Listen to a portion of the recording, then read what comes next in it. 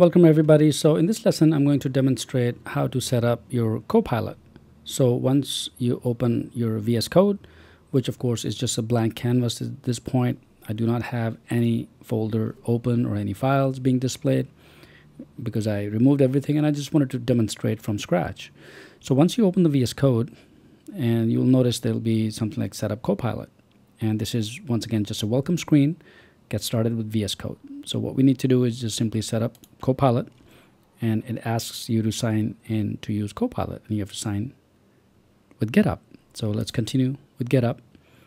And what this is going to do is just open up your browser and we'll ask you which account do you want to sign up. Now, typically you just have one account or if you have multiple accounts, then this is what you'll see. Or you can use a different account. So I'm going to go ahead and, since I'm signed in as CodeFlow Ops, I'm just going to go ahead and click continue and what this will do is redirect me back and I can open Visual Studio Code.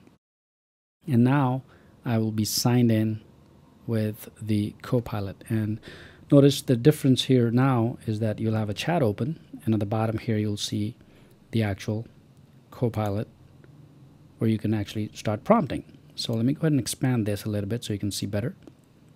Now this has many things. So it has agent and you can ask or you can edit so right now, I'm in the agent mode. If I go simply click on ask, it's just going to go ahead and give me answers, just like ChatGPT does, for example, or Claude would do.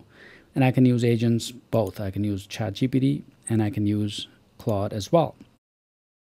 So let's go ahead and on the left side, before I actually, I'll come back to this. On the left side, where your profile is, account signed in, I need to go ahead and navigate to CodeFlow GitHub and I can either do manage trusted extensions, which it typically prompts me. And if it does prompt you, just say yes. And I'm going to go ahead and also sign in with GitHub to use GitHub pull requests. Now, what needs to happen is, of course, we need to take our VS Code and then uh, hook it up with our GitHub repository where our code exists so that we can do git pull and push code as we develop. So let's just sign in for now. And just the same process, just click continue and I'm going to go back to opening up the Visual Studio Code. Perfect. So now that we're signed in, I'm going to go ahead and say hello just in chat just to see what's going on. Because right now I just see the agent. I don't see Claude and GPT. So as soon as I type hello, boom, I'm going to see the default, which is ChatGPT 4.1. Well, if I'm not interested in using the ChatGPT agent, I can pick Claude 3.5, 3.7, or version 4, which is the latest one. Now they have, I think, Opus 2, but right now we're just going to be using Claude Sonnet 4. Now, what this agent is very powerful. This is not only just your AI programmer, but you can actually tell it to do whatever it is that you want to do. So if you want to create a simple website, simple blog page, or whatever it is that you want to do, maybe even complex programming. And then, of course, as we move along, I'm going to demonstrate how this actually works. So right now, this is all I wanted to show you. And of course, the details, like if you want to open the terminal, you can click on terminal, new terminal, and you can run the commands right from the terminal as well. Whether you're using PowerShell, for example, or if you want to use your bash, or for example, command prompt or Ubuntu, you can pick any one of these. Okay. Typically, it's bash, but by default, it's PowerShell because, hey, it's VS Code and it's Microsoft. So not a problem at all. The agent understands all different formats, so no matter which which you use, whether it's PowerShell or Git Bash, the agent will know which command to use if you need to exercise it. All right, so this is just a brief, and on the left side you'll see the source control, which is where you're actually cloning your repository and you're connecting to GitHub. So just a brief overview of the VS Code and how to set up your AI programmer.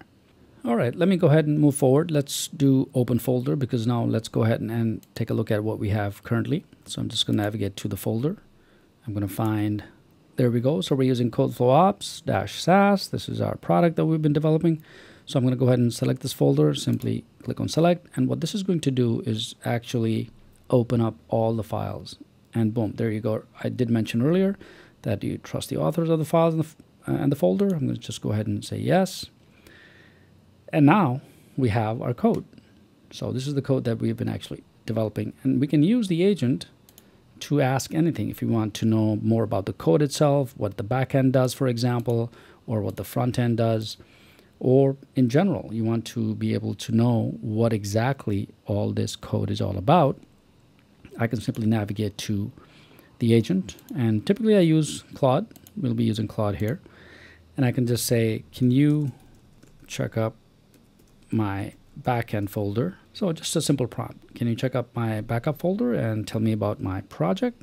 So if I hit the send button here, Claude is going to go ahead and in fact start to analyze the backend folder only because that's what I specified.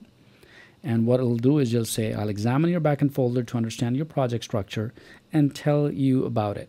So let me start by exploring the backend directory in detail. Now what this is doing is simply reading up all the files, all the uh, necessary files rather, or the important files that it needs to understand the structure of the project itself. And then once it's done reading up, it will then give you the comprehensive analysis, the summary, the details of what it thinks this project is all about. So let's see what this comes up with, and we'll see how uh, good it is at uh, actually understanding the code, reading up on the code itself, and then understanding the structure. And notice it's going through package JSON, requirements TXT, core APIs, simple APIs because we're using this model, and then the DB routers registry, and then the services. So it's just, just going through it. It's just going through the orchestrator.py, all these files that we have in the Backend folder right here. That's what it's doing. It's analyzing the important ones that it thinks is or has the required files that are necessary to read and then of course give you the details. So there we go. So just took about 30 seconds or so or a minute or so and now it's giving us the project overview. Let me expand this a little bit more so you can see. Now, what it's done is a beautiful job. It says CodeFlow Ops SaaS is an automated GitHub to AWS deployment platform that intelligently analyzes repositories and deploys them to AWS infrastructure. Boom, right there is actually, in fact, what we do. And this is a sophisticated SaaS solution with both backend and front end components. Even though I did ask for backend, but hey, it just gives me the project overview. Now it gives me the stack also the primary stack it detects. We're using Fast API Python with Express.js or Node.js hybrid. And then we're using SQLite and SQL Alchemy with Alembic migrations. The cloud we're using is AWS S3 CloudFront Boto 3 and authentication and so on. So it goes through the backend architecture, gives me the dependencies, and then here's the breakdown of the actual core components. So notice these are all the folders and what the folders entail, of course, all the files, and it gives us detailed core components. Then it comes down to core functionality. So it says, hey, we are intelligent stack detection because in this particular SaaS product, the user simply enter a GitHub URL for the repo or any repo. as it has to be a public repo. And then this system is going to intelligently analyze and then detect the stack as to what is the best stack to deploy. For example, the front end is using React, Next.js, Angular, Vue, and then the back end, of course, has its own, and then the static side, mobile, and documentation. So these are the capabilities of this SaaS. And then it's a multi-tenant architecture because you'll have thousands of users. We can have thousands of users actually using this SaaS platform.